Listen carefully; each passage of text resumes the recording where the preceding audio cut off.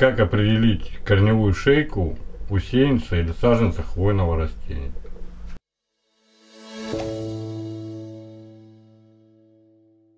Здравствуйте, уважаемые друзья! Сегодня я вам расскажу, как определить корневую шейку у саженца или сеянца хвойного растения или любого другого растения.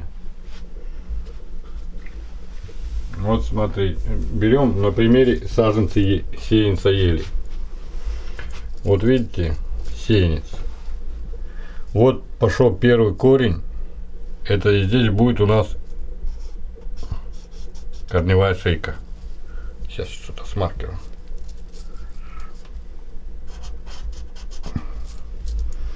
Вот это рост его, размер по длине. То есть, если мы пишем 10 сантиметров, то значит 10 сантиметров. Итак, смотрим.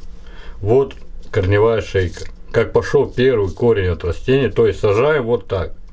Но мы сажаем чуть глубже, потому что когда земля поливается, она сядет и как раз до корневой шейки. Теперь рассмотрим на примере туи. Точно так же. Здесь корневая шейка начинается у нас. Вот первый корень пошел, то есть сажаем вот так. Вот так сажаем, вот ее расстояние. Если здесь 10 см,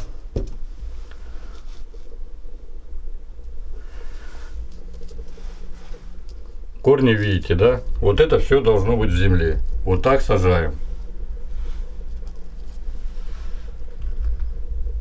Сажаем и начинаем поливать. Ну, на этом все уважаемые друзья. Все, что хотел рассказать в этом видео. Всего доброго. С вами был Евгений Филимонов и питомник Хвойный дворик.